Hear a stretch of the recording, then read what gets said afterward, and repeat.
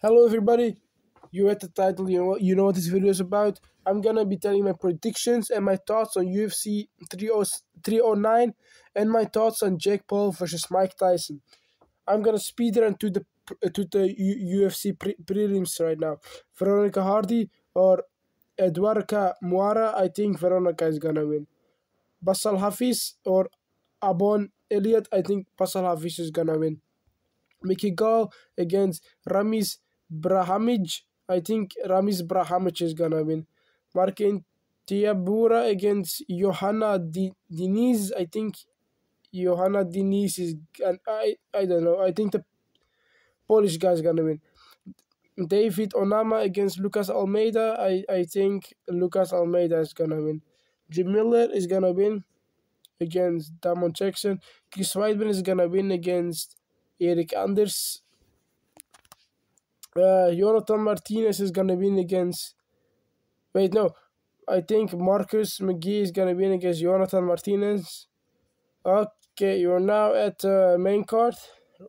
I mean, Rafi is gonna win against James Loptop. Loltop.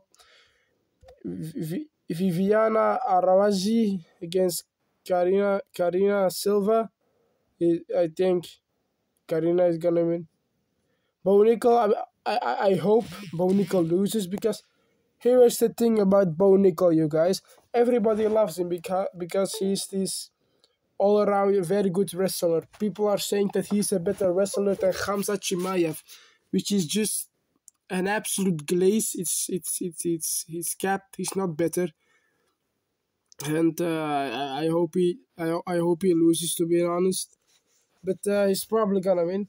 But if Paul Craig, uh, if Paul Craig like beats him, th- that would be crazy, because Bo Nickal is a minus one thousand favorite. So like, you know, uh, Charles Oliveira against Michael Chandler. Here is the thing, I actually think Michael Chandler is gonna win.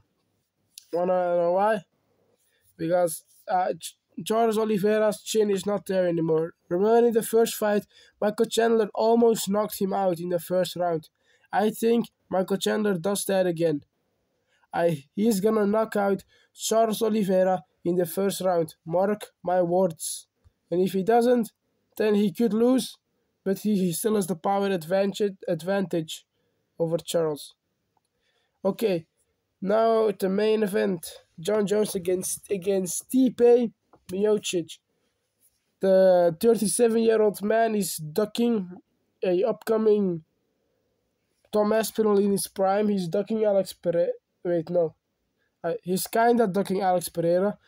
To fight the 43 year old Stipe Miocic, Jon Jones is gonna win. He's training with motherfuckers like Gordon Ryan, he, some very good wrestlers, and some other guys. Jon Jones is gonna win, like it or not. I mean, if Stipe wins, that would be funny.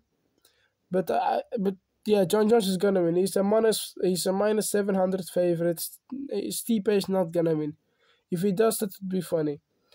And I, I, I hope if Jon Jones wins, that he won't retire. That he will finally fight Tom Aspinall. But he's too big of a pussy to do that. I, I think Stipe would fight Tom if he wins, but I, I don't think Jon will fight will fight Tom. But um, now by by UFC, I'm gonna talk about boxing right now. I here's the thing about Jake Paul versus Mike Tyson. It's kind of the same issue with Jon Jones and Stipe. The younger guy doesn't want to fight good fighters or good boxers. He wants to fight a old goat. Whoa.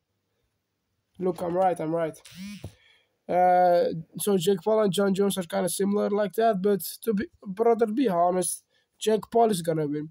He's younger, he's faster, he has the power. Uh, Mike Tyson has ring rust, if you know what that is. It's basically he fought so much that he like his durability is gone. He's not durable anymore. One one clean overhand from Jake Paul and Mike Tyson is going night night. Kid Kid Dynamite is not Kid Dynamite anymore, guys. So, uh, yeah. Sorry, Jake Paul is gonna win. I hope Mike Tyson wins, but Jake Paul is gonna win. So uh, that was it. That those are my predictions and my thoughts on these two events. I hope you enjoyed my video. I hope you agree. If you don't agree with my takes, uh, I don't care to be honest. Uh, join the Discord. Link is in the description. And uh, watch one of these two videos if you want to. So uh, have a good day, everyone. Bye.